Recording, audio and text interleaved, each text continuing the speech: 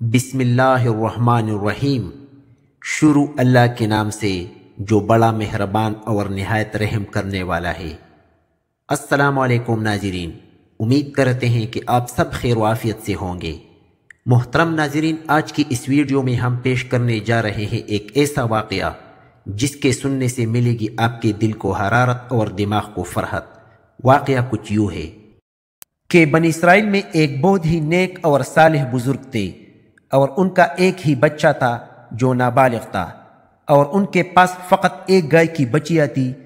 उन बुज़ुर्ग ने अपनी वफ़ात के करीब उस बचिया को जंगल में ले जाकर एक जाली के पास ये कहकर छोड़ दिया कि, या मैं इस बचिया को उस वक्त तक तेरी अमानत में देता हूँ कि मेरा बच्चा बालिग हो जाए।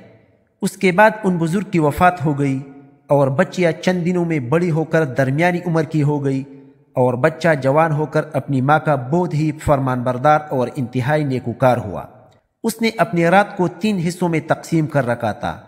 एक हिस्सा में सोता था और एक हिस्सा में इबादत करता था और एक हिस्सा में अपनी माँ की खिदमत करता था और रोज़ाना सुबह को जंगल से लकड़ियाँ काट कर लाता और उनको फ़रोख्त करके एक तिहाई रकम सदका कर देता और एक तिहाई अपनी ज़ात पर खर्च करता और एक तिहाई रकम अपनी वालिदा को दे देता।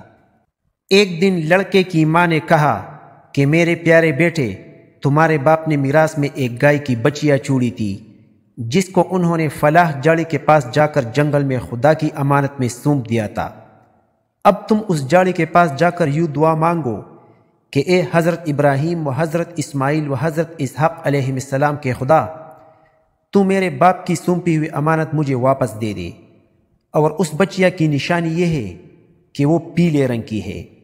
और उसकी कल इस तरह चमक रही होगी कि गोया सूरज की किरणें उसमें से निकल रही है। ये सुनकर लड़का जंगल में उस जाड़ी के पास गया और दुआ मांगी।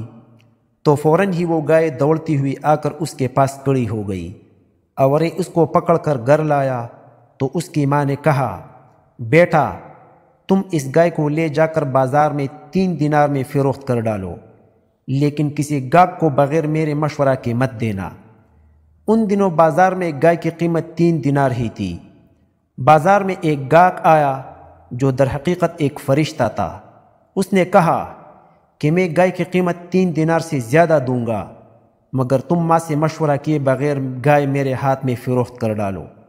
लड़के ने कहा, कि तुम ख्वाह कितनी भी ज़्यादा कीमत दो, मगर मैं अपनी माँ से मशवरा किए बगैर हरगिज़ इस गाय को नहीं बेचूँगा। लड़के ने माँ से सारा माजरा बयान किया तो माँ ने कहा कि ये गाक शायद कोई फरिश्ता हो। तो ए बेटा, तुम उससे मशवरा करो कि हम इस गाय को अभी फ़रोख्त करें या ना करें। चुनाच उस लड़के ने बाज़ार में जब उस गाक से मशवरा किया तो उसने कहा कि अभी तुम इस गाय को फ़रोख्त ना करो। आइंदा इस गाय को हज़रत मूसा अलैहिस्सलाम के लोग ख़रीदेंगे। तो तुम इस गाय के चमड़े में सोना भरकर उसकी कीमत तलब करना। तो वो लोग इतनी ही कीमत देकर खरीदेंगे। चुनाच चंद ही दिनों के बाद बन इसराइल के एक बहुत ही मालदार आदमी जिसका नाम आमील था, उसके चचा के दोनों लड़कों ने उसको कत्ल कर दिया और उसकी लाश को एक वीराने में डाल दिया। सुबह को कातिल की तलाश शुरू हुई, मगर जब कोई सराग न मिला, कुछ लोग हज़रत मूसा की खिदमत में हाजिर हुए और कातिल का पता पूछा तो आपने फरमाया कि तुम लोग एक गाय ज़बह करो। और उसकी ज़ुबान या दुम की हड्डी से लाश को मारो तो वो ज़िंदा होकर ख़ुद ही अपने कातिल का नाम बता देगा।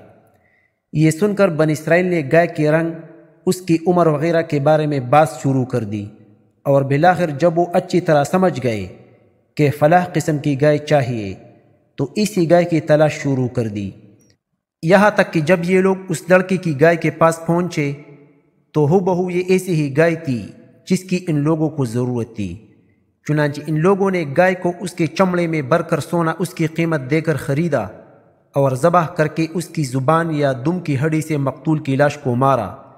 तो वो ज़िंदा होकर बोल उठा कि मेरे कातिल मेरे चचा के दोनों लड़के हैं, जिन्होंने मेरे माल के लालच में मुझको कत्ल कर दिया है।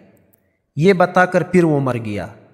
चुनाच इन दोनों कातिलों को कसास में कत्ल कर दिया गया और मर्द सारह का लड़का जो अपनी माँ का फरमान बरदार था कसीर दौलत से मालामाल हो गया।